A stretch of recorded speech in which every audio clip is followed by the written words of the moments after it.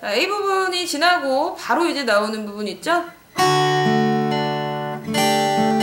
이런 부분을 이제 간중 혹은 인터루드라고 하죠.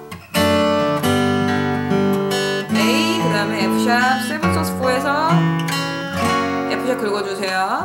다시 다시 이제 네, 요번으로 가죠.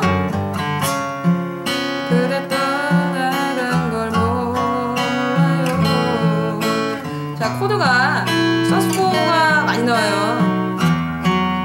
마이너 add nine. 자, 이 부분도 여기서는 G 마이너 7에서 C로 갔죠. 자, 이 부분은 약간 모호한 느낌이 드는데 C 베이스로 해결해 주시면서 뒤로 가시고 그 다음에 C B7 F sharp 베이스 돌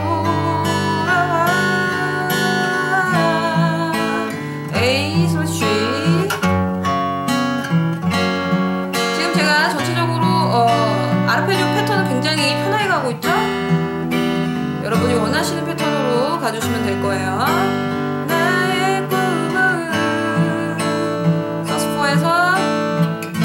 A 코드 이렇게 해머링 풀어주시고 다시금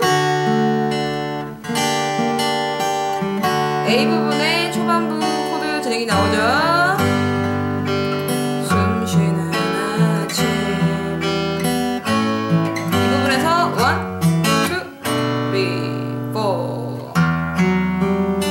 nine으로 풀어주시고